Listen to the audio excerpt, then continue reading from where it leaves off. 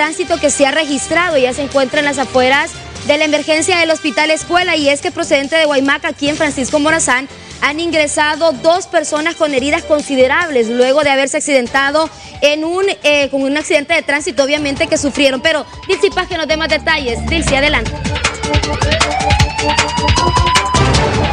Muchas gracias compañeros en los estudios principales de HCH Televisión Digital. A esta hora del día ingresan dos personas procedentes de Guaymaca luego que ellos tuvieron un accidente de tránsito en una motocicleta. En este momento ustedes observan que a bordo de una ambulancia ellos ingresan al primer centro asistencial del país. Se trata de una mujer y de un caballero. En este momento pues ya ellos están tratando de ser ingresados a la emergencia del Hospital Escuela. Eh, se trata del señor Alexis Avilés y de la joven Gloria Argueta. Vamos a consultar qué fue lo que sucedió. ¿Qué fue lo que pasó? Carro nos agarró por dentro. Exactamente dónde fue. Ellos iban en una motocicleta. Sí. ¿Dónde fue el accidente? ¿En una motocicleta? Sí.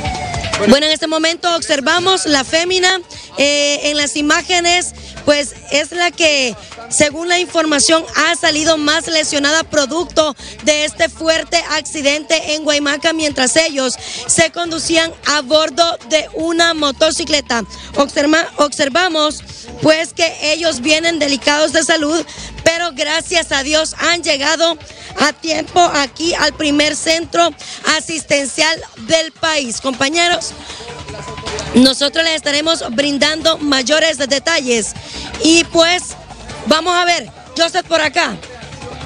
El caballero, el caballero no reacciona aquí dentro de la ambulancia.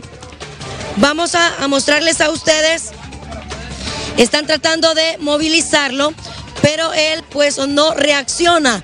Los familiares están bastante desesperados y pues, como pueden observar ustedes, trae bastante golpes de consideración. Afortunadamente ellos vienen ambos con vida.